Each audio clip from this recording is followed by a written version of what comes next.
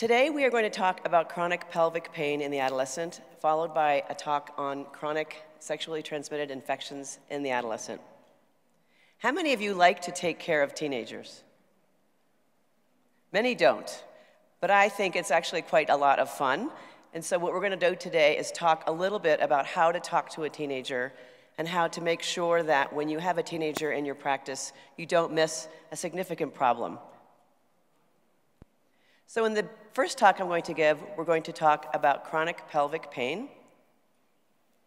We're going to cite the prevalence and common etiologies of chronic pelvic pain, describe the symptoms and physical exam findings associated with chronic pelvic pain, and briefly discuss psychosocial issues and steps in the evaluation and management the definition of chronic pelvic pain is that which occurs longer than six months, which has a significant effect on the daily function and quality of life. And interestingly, in includes both the reproductive and non reproductive pelvic pain that can be acyclic. Overall, 15 to 20% of women aged 18 to 50 years of age have chronic pelvic pain that lasts over a year. In the adolescent patient, Almost 5% of all office visits between the ages of 11 and 21 or for abdominal or pelvic pain. Almost 30% of gynecologic visits are for pelvic pain, and 30% of laparoscopic procedures occur in those with pelvic pain. And the reason for pelvic pain varies widely, and it depends on where you practice. For most of us that take care of the adolescent patient, it is dysmenorrhea or painful periods but it can also be endometriosis. And one of the important things about endometriosis is that it can occur in the adolescent patient. It isn't one that occurs in older women only. In those who are sexually active, it can occur secondary to chronic pelvic inflammatory disease, and other causes which need to be discussed are other gynecologic issues from the genitourinary tract, the GI tract, neuromuscular, or psychological origins. And again, the most common causes of chronic pelvic pain in the adolescent patient include dysmenorrhea or painful periods, endometriosis, Mittelschmerz, which is the pain that occurs at the time of ovulation in the middle of the cycle. Other less common causes include adhesions, torsion, chronic PID, retroversion, pelvic floor pain, visceral hyperalgesia, and ovarian remnant syndrome. 40 to 90% of adolescent females will complain of dysmenorrhea at some point during their adolescent life. And up to 45% report missing school or work. Interesting, it happens after a girl has started her period for about six months. So that means it occurs in young women who have been menstruating for about six months and then begin ovulating. So the initial part of the menstrual cycle may not be painful, but after ovulation begins, the cramps start. There's two kinds of dysmenorrhea. There's the primary kind, which occurs basically once the period starts with ovulation, and the secondary type of dysmenorrhea, which occurs usually more often in women over 20 years of age. And again, this can be secondary to endometriosis, malformations of the uterus, or infections.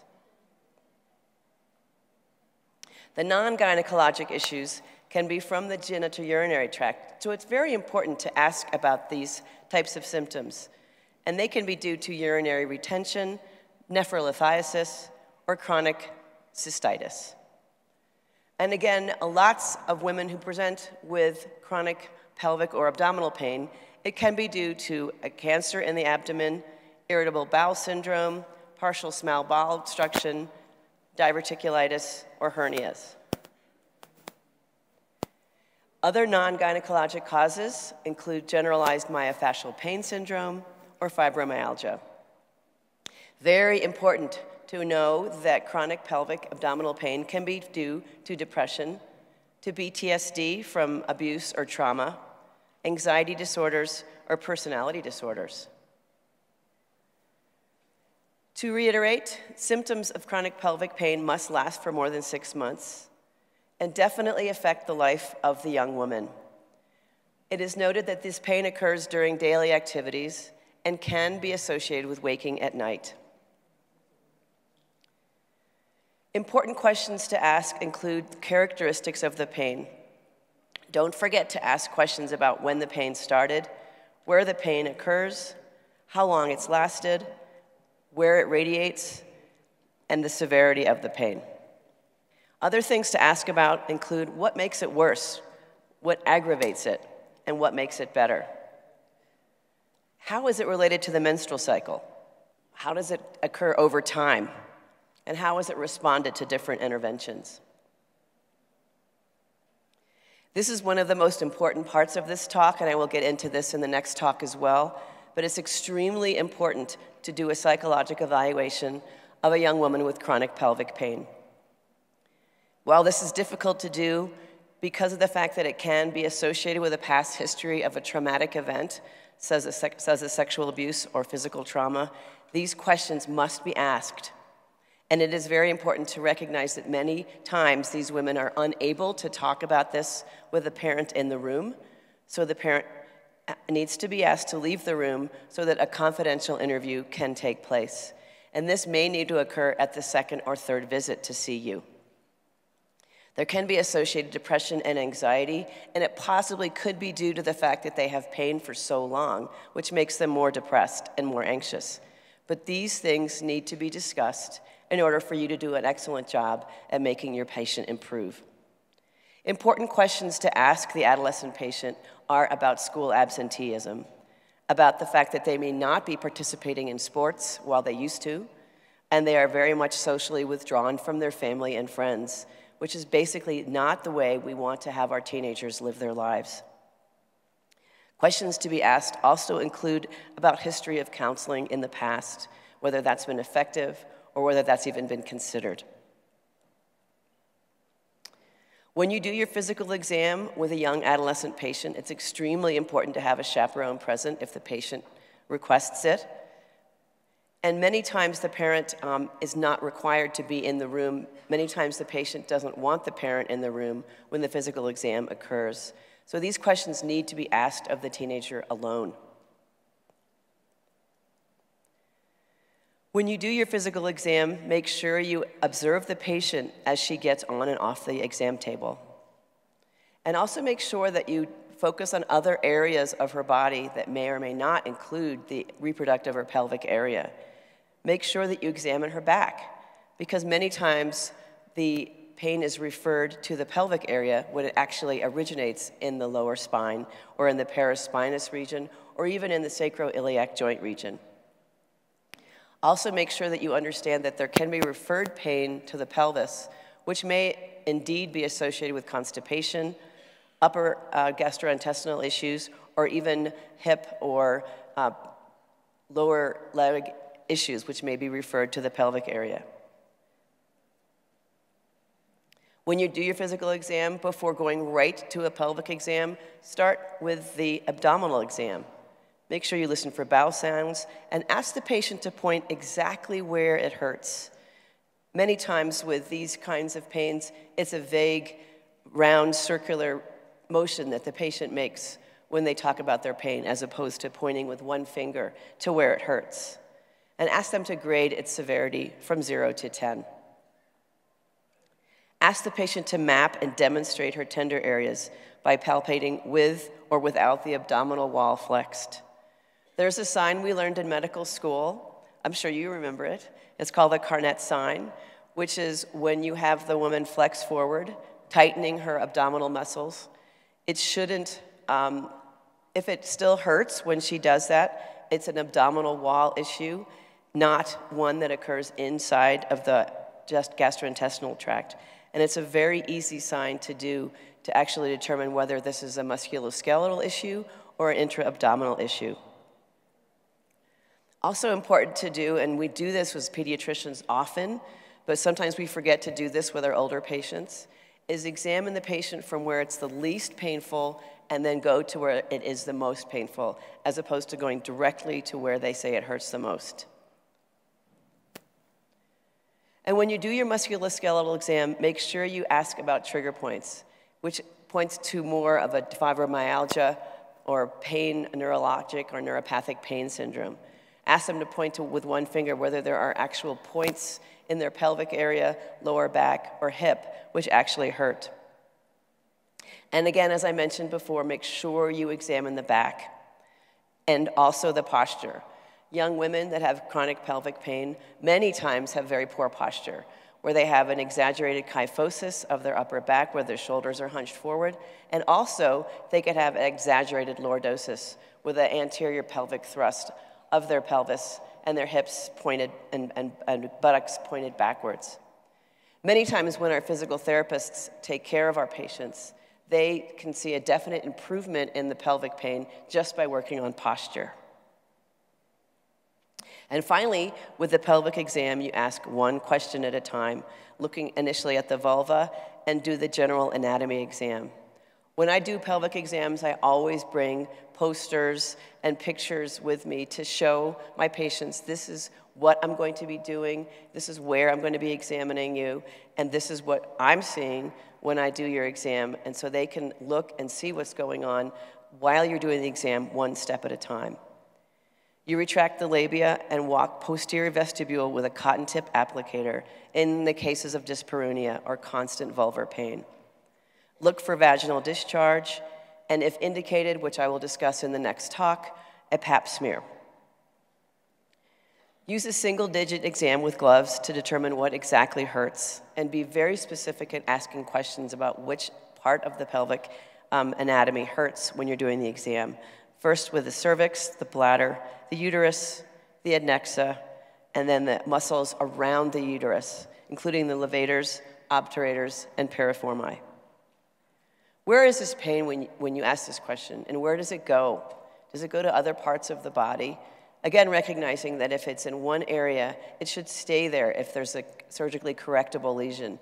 And if it's referred vaguely to other parts of the abdomen, it might be more of a neuropathic type of a pain or even a musculoskeletal pain versus a pelvic pain.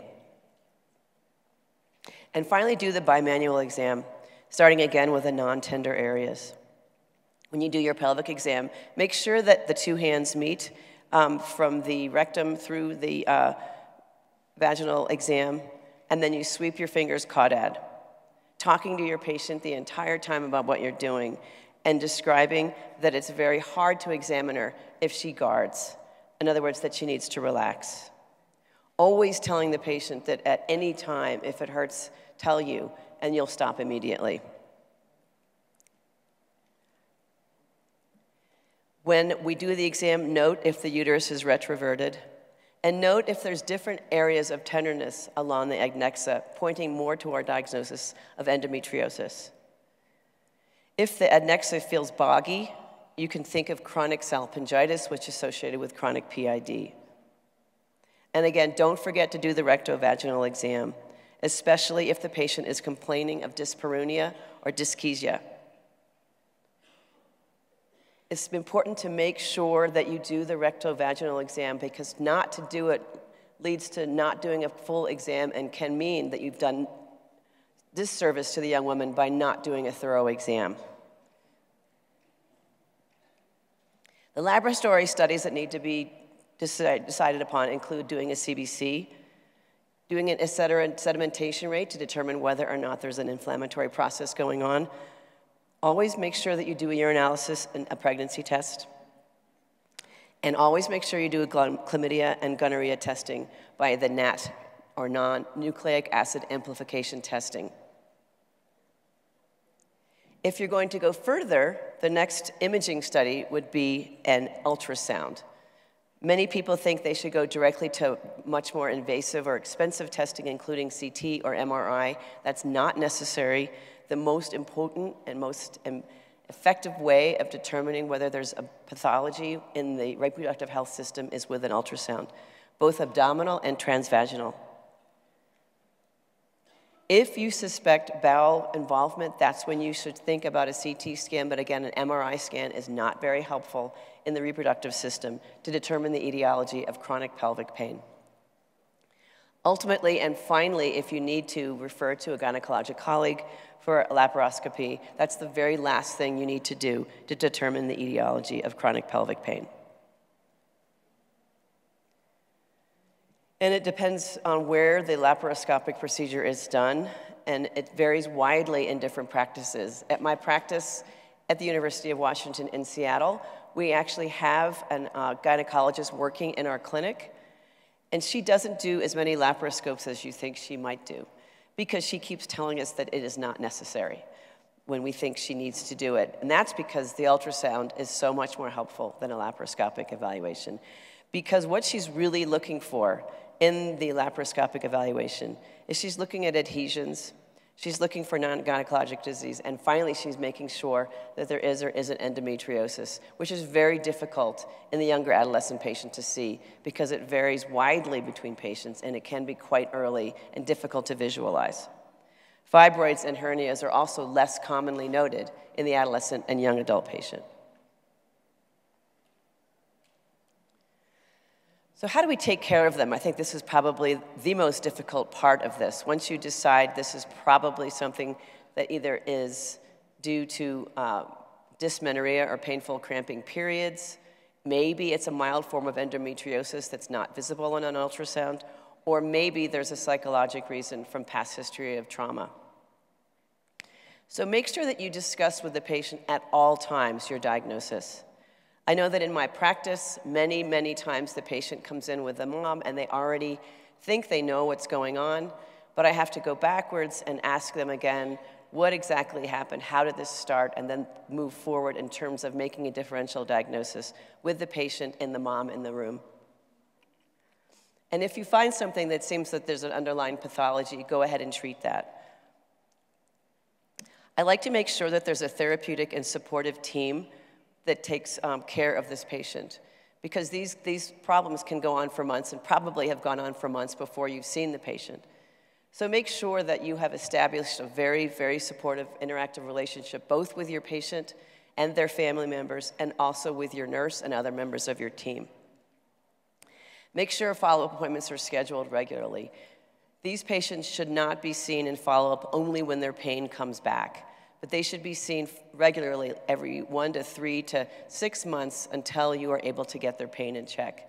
Just schedule the appointments, and even if they don't have pain, it's important for them to come back and see you, just to tell you that, because it, it, it validates that you know they're going to get better and helps you understand what it is that they are doing to make themselves feel better. Make sure that you educate, educate, educate these patients and reassure them that you can't find any serious underlying pathology. And you discuss the difference between something acute that happened that is going on acutely with maybe a one particular period that's painful versus a chronic type of a pain syndrome, which may be going on for months and months and may take you quite a few months to make them better. I like to make sure that my patients are educated about what goes on in the central nervous system with pain. And this is a whole other topic I, I can go into at another time. So please invite me back if you want me to talk more about chronic pain in the adolescent patient. But basically, what happens with chronic pain syndromes, wherever it occurs, whether it's in the pelvis or the musculoskeletal system or in terms of headaches, there's a centralization component to the pain, which is a perception component to where the brain is perceiving the pain as opposed to where it's happening at the site of origin. And once I start talking about centralization and explaining it to my patients and their families, there's this aha moment when they understand what's going on and understand that they can actually get better just by knowing what they can and can't do. The psychological component can be very stressful to uncover, and so that if I do uncover a particularly stressful event that occurred in their past, I like to make sure that I have very close by a team of psychologic experts that can help me with my patient. In terms of the pharmacologic therapies, the initial trial always includes hormonal manipulation. We use cyclic um, therapy occasionally with our, non with our um, contraceptive pills, but basically, we really would rather do a continuous form of manipulation of the um, young woman's hormonal uh, axis using continuous birth control pills. And we try not to use the triphasal pills, but not to say that they're necessarily wrong, but it's very confusing for an adolescent girl to be taking three different color pills all the time. So we just have her take the one type of contraceptive pill continuously and not having a period, and she can take it continuously for six months to a year without having a period, and that's okay.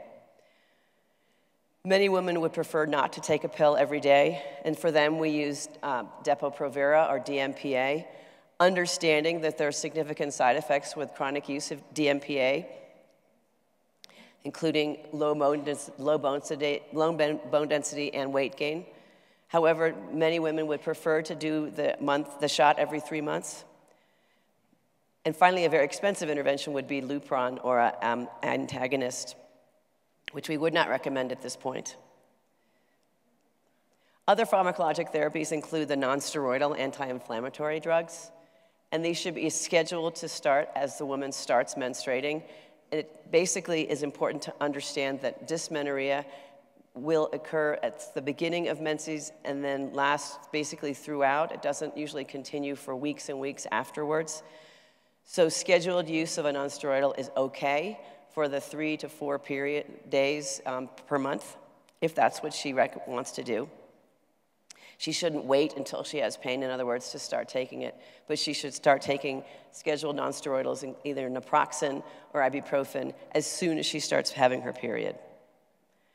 Very rarely, if ever, do we recommend narcotics for dysmenorrhea because we know in the adolescent patient, particularly, that it can lead to tolerance and dependence. And so we avoid them at all costs to make sure that they are not trying to alleviate the pain with a narcotic because honestly, a narcotic will make them feel better and make the pain go away, but it can lead to significant problems with dependency later. For many patients where there's an un you uncover a psychologic problem, there can be an indication for a SSRI or antidepressant. And finally, for those with chronic pain, for chronic neuropathic pain, the pain I was discussing earlier, you can use a tricyclic or anti-epileptic. And again, I usually have my pain colleagues prescribe those versus myself, but for many patients, this is very helpful. Very rarely, if ever, is a surgical therapy indicated. So this is something I wanted to make sure that I put in my talk so that you know that there are some that would recommend a surgical therapy for chronic pelvic pain, although it's very drastic to do for an adolescent patient, and these include adnexectomy, neurectomies, suspension, lyses, and resection. We find our anesthesia colleagues can help us a lot um, with acupuncture, especially if they are dual boarded in anesthesia and acupuncture. Some of them can do trigger point injections and nerve blocks. So we work very closely for our patients with chronic pelvic pain that we are unable to help with either a uh, hormonal management, nonsteroidal, or a, a neuropathic inter intervention. Very important to understand that the management of an adolescent with chronic pelvic pain involves a team. And there are multiple components of the pain that have been shown to be more effective than traditional gynecologic management, including involvement of ourselves as pediatricians, a physical therapist, extremely important, and they're our colleagues and very helpful. I know when you think chronic pelvic or even abdominal pain, you wouldn't think a physical therapist can help you, but they can and it's really interesting to see just how they work with the patient in terms of posture um, and, and working on the, the back and, and the paraspinous muscles, how helpful that can be for our patients with chronic pelvic pain. Again, anesthesiologists can be very helpful. Acupuncturists are helpful, psychologists are helpful. And I myself, in my own practice, use biofeedback, which is an extremely important therapy that I would love to come back and talk to you about also um, in terms of an intervention for chronic pelvic pain. And again, important to recognize is the return to function is an important aspect of the adolescent health that needs to be discussed and sometimes gets missed when we focus so much on the medical and we forget that they're not going to school anymore or they're not hanging out with their friends or participating in football or other sport that they used to. So we like to make sure that as part of our treatment plan, we make sure that we have a plan for them to return to school, return to playing with their friends on the sports fields, or hanging out with their friends when they go shopping. So in conclusion, Chronic pelvic pain lasts more than six months, has a significant effect on the daily function and quality of life in our adolescent patient. It's very common and affects up to 24% of American women in varying degrees of severity. It can be caused by a variety of factors, including gynecologic, genitourinary, gastrointestinal, neuromuscular, and psychologic causes. And we know that a multidisciplinary approach has been very effective and can be better than just using a pharmacologic or even a surgical intervention alone. It's difficult to treat, and patients need to be seen regularly and often provided much support until they achieve healing and back to their normal quality of life. I have references here if you need them, and I'm sure we can give you these later on in the talk. Thank you very much for inviting me to come to Mexico.